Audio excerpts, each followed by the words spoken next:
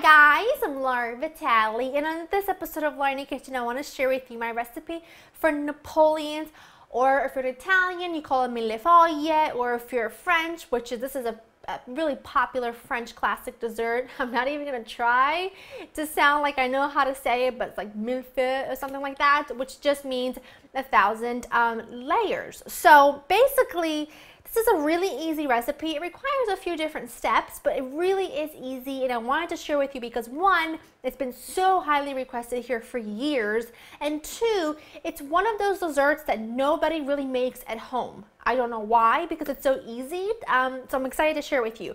To get started, you'll need a few ingredients to make the custard, such as whole milk, I've got all-purpose flour, a pinch of salt, granulated sugar, three egg yolks, and you'll need vanilla bean paste. Or you can also use a vanilla bean and just scrape out the little seeds. So it's really easy and straightforward. I mean, it doesn't really get any easier than this custard.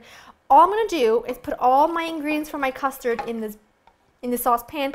This is like the same custard I made when I made um, my fruit tart, my Nonna's fruit tart. This is the same custard we used um, and it's just, it works every single time. This is my Nonna's recipe and um, it's the only really cust the base um, custard that we use for most everything because it just works so well. And then a good teaspoon of vanilla bean paste, which is just the most fantastic smelling thing in the world.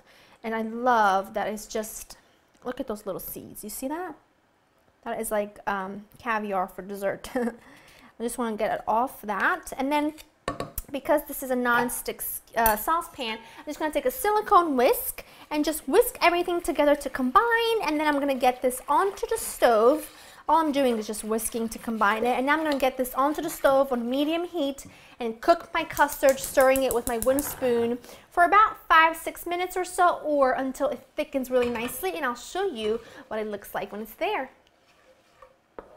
That is just gorgeous. You can see it coats the back of a spoon and if I run my finger down, it stays separate. That's when you know you're at the right consistency. Now I just want to strain this through a fine sieve into a bowl just because if any eggs curdled or any of the egg yolks curdled or if there's any bits of flour that didn't get blended well, you know, all that stuff doesn't go into your final product. So I am just scraping this out because I want to make sure I get every little bit out of this and then just pass it through a sieve. You can see it's like gorgeous ripple of golden vanilla custard that is going to just be fantastic with the pastry and the jam. It's just phenomenal. You see in here all that stuff that didn't get blended really smoothly. I don't want that into my final dish. So I just strain that out. And now what I need to do is I need to cover this with plastic wrap and it's really important that the plastic wrap is actually touching the custard itself. Pop it into the fridge for a few hours to cool completely and then we will be ready to move on to the next step. Now I have my work surface sprinkled with some confectioner sugar and I just unrolled a sheet of puff pastry that I had thawed in the fridge. This is just store-bought puff pastry um, and I also have a baking sheet that I've lined with parchment paper. I'm adding a little bit more sugar because I don't want this to stick and then just to kind of I'm not really rolling this out to make it bigger, but just rolling it out a tad to get it going, to get it a little bit more relaxed.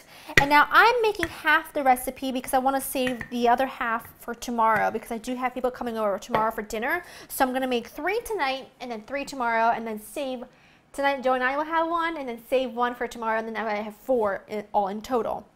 So now what I want to do is I've got my puff pastry in front of me. I want to cut this in nine equal pieces. So let's see, three, three, yeah, that looks about right. And don't worry if they're not perfect because remember, this isn't going to come out of some sort of uh, perfect bakery or anything like that. This is just coming out of your kitchen and I just love it when things look homemade. So I make no apologies if things are not perfectly squared or whatnot. And then I just place them on my parchment paper. Actually, what I want to do really quickly is just dust with confectioner sugar. And it's really important, otherwise everything starts to stick. I'm to put them on there like so. And now I want to pop these into the freezer for about 10 minutes. And in the meantime, I'm going to get my oven preheated to 400. And then after they come out, I will show you the next step. These were in the freezer for 15 minutes and now what I'm going to do is I'm going to sprinkle the tops with more confectioner sugar. I know it sounds odd, but trust me when I tell you this works really well. Then take another piece of parchment, place it on top like so, and then take a baking sheet that's about the same size, or it should be the same size, so it fits well over the top. And then you need to weigh this down. I just use four ramekins.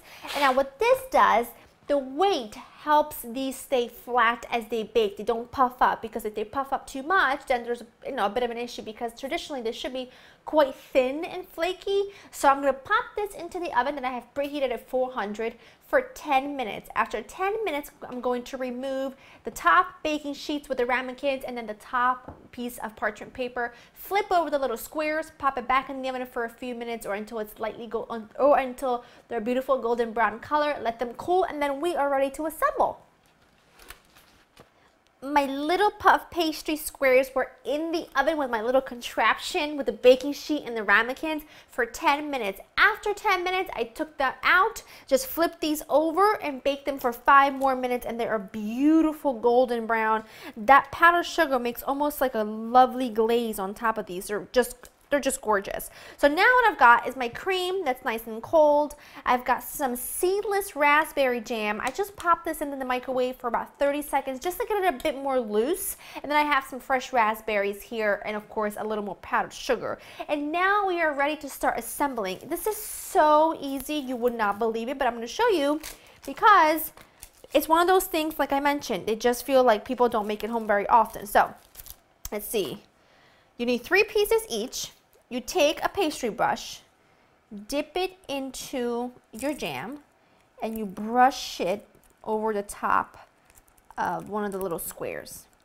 Then you take a little bit of your custard that's beautiful and velvety. Always make sure that when you assemble these, you assemble these on a different plate that you're going to serve them on because sometimes they tend to get a little bit messy and you don't want that to happen. You want them to be nice and clean when you put them on your plate. Then you take another little sheet, you brush it with some jam. All you're doing is just repeating that same step. You brush it with jam, and then a little more custard. Look at the vanilla beans. Oh, it's just so beautiful. And then all you're gonna do, I'm just so thrilled. Do it like so, like a little sandwich right? Squeeze it just ever so lightly. You take a third one and you pop it on top like so. Confectioner sugar over the top. Now traditionally, you should have royal icing on the very top, which I think is making things way too complicated and it's not necessary whatsoever. It's just adding um, extra sweetness with no flavor. So I prefer powdered sugar and then fresh, fresh, fresh raspberries. And I mean, tell me that's not absolutely gorgeous. Now also, you really should let this set into the fridge for a little bit because what happens is that the custard and the jam helps everything sort of the, the pastry get a little bit softer. If you were to eat this right now, it just is a little bit messy because what happens is this the pastry is still really hard. So what I'm going to do is I'm going to place these, I mean really, they are just fantastic on my little tray. I'm gonna make one more and then I'm gonna eat one deconstructed because oh that's such a good that's such good custard because you're supposed to like these set so I'm gonna do one more and then we'll try bits and pieces of one together now, tell me that's not picture perfect. All it needs is a little fresh sprig of mint and it would just look like something that came out of a magazine.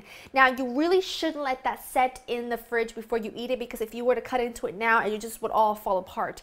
And once everything gets a chance to sit together, the custard just makes the puff pastry softer and it makes it really easy to eat. But I'm gonna make one, like I like to call it deconstructed so I can taste every element of the dish. I'm just gonna take a piece of puff pastry. Oh, I love puff pastry. See, it's really crumbly at this point, but it's okay. Remember, this is just a taste test for me.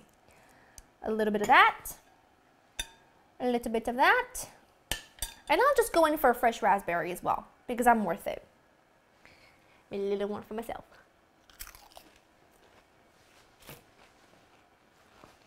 I love it all.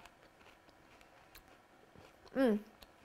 I don't even know how to describe it. It's flaky. It's crumbly. That custard will be good on a shoe. That's how good that is. And that little bit of tartness from the fresh raspberry and the raspberry jam. It is just a match made in food heaven.